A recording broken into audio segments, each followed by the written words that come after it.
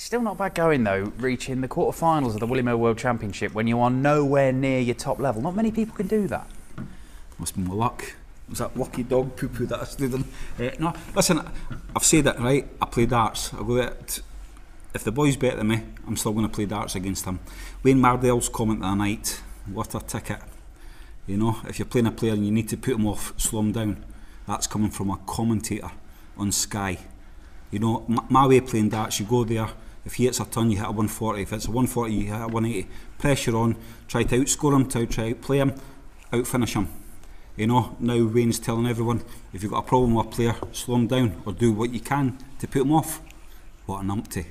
That's, that's absolutely great for television and it's a great thing to tell kids what to do, isn't it? Proud of you, Wayne.